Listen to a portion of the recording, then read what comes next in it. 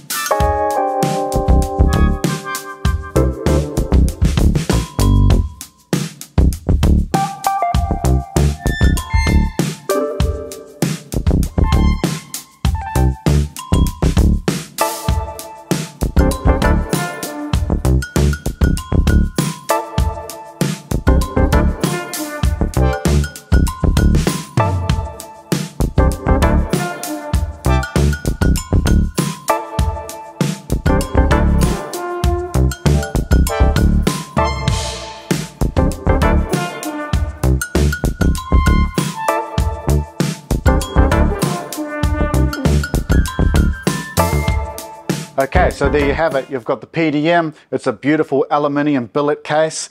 And then you've got the mounting plate, which you can move around to adapt to your situation. You've got the tuning cable that can go from the PC to the PDM. You've got your tuning port on here, uh, which has got a nice insulating cover.